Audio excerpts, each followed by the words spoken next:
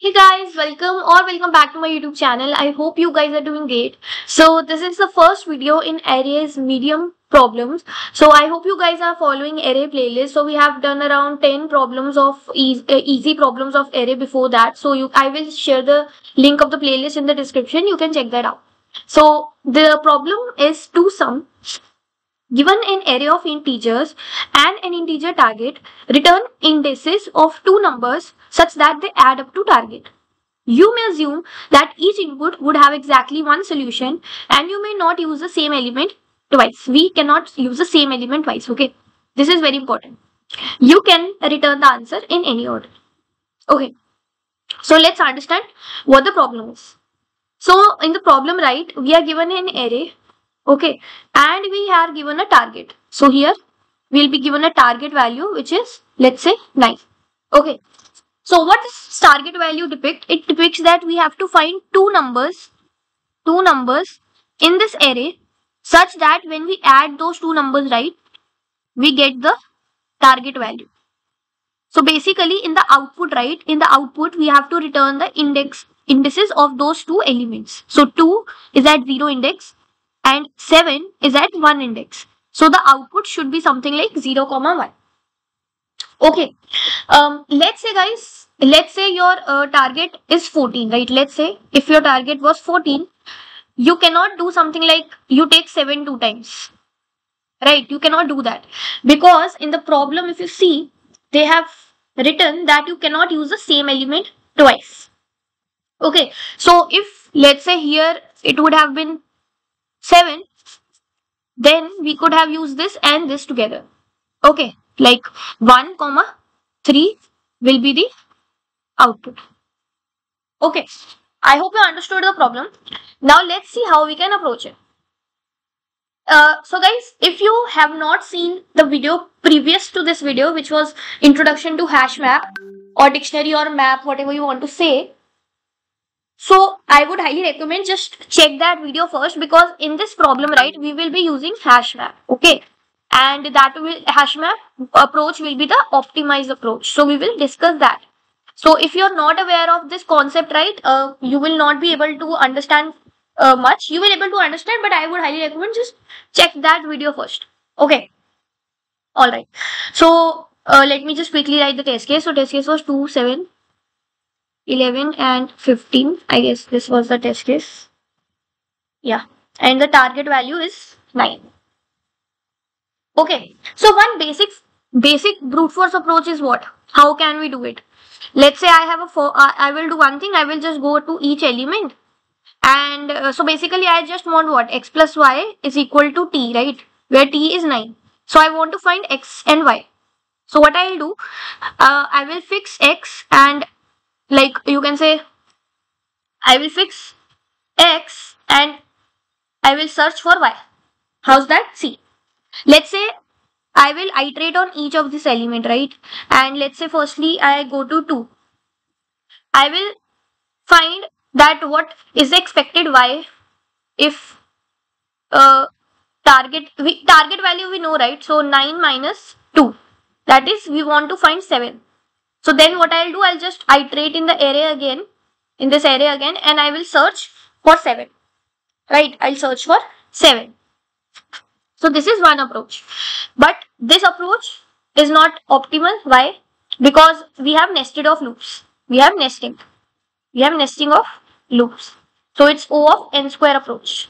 And if you see the constraints, right, you have, um, yeah, see, 10 raised to power 4 is a like basically here 10 raised to power 4 is an uh, n. So ideally n square will also work here but obviously we should go for the optimal approach okay.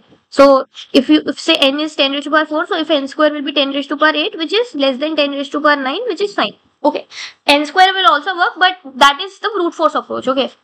It's not optimal how can we make it optimal so the additional thing which we are doing right every time what is the additional thing like always when you have to optimize right when you have to optimize just keep this in mind it's very important point guys whenever you have to optimize from o of n square to o of n right check out what the additional work additional work you are doing So here additional work is what? Like every time I fix an element, I have to search in the array to find the complement.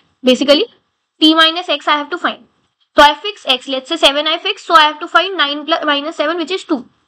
Then I fix 11, then I have to find 9 minus 11 which is minus 2. Okay, so this finding right, I am doing it extra. Like for every element, I am finding the complement, the complement in the array, right?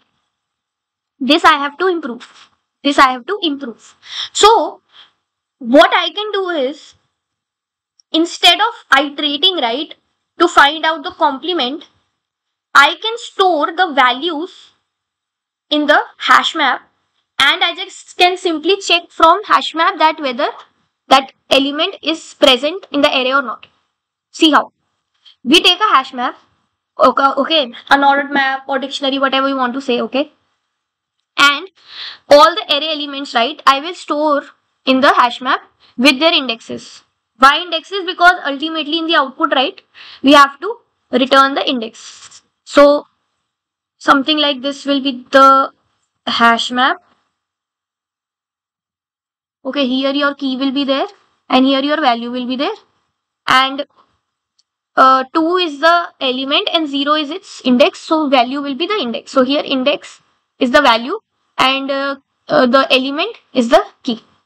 Then you go to 7 7 will be the key and its index will be the value.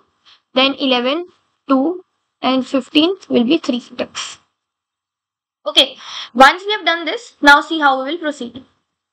Let me write the array again. So 2 7 11 15 and we have 0 1 2 so again i will iterate on each of the elements. So i go to 2 okay i fix this value as x. So y will be t minus x and t is what? T is t is 9 right okay.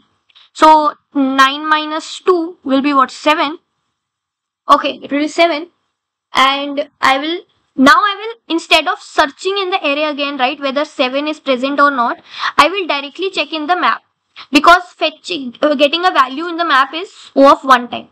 So I will just directly check in the map whether there is a key 7 present or not. Yes there's this 7 present.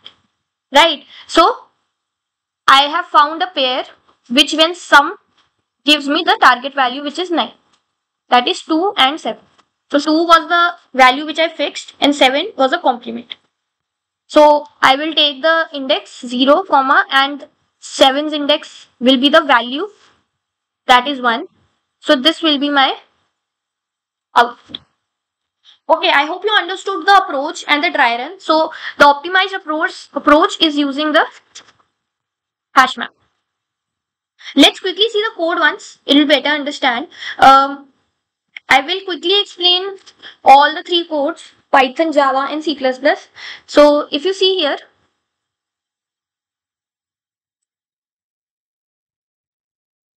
yeah, so we have taken a hash map okay basically a dictionary and we are going to each element in the array and we find the complement and we check whether the complement is present in the hash map or not okay if it is present then we return the index and the index of the complement which is the value of the hash map. Otherwise, we just add the element in the hash map as we proceed in the array.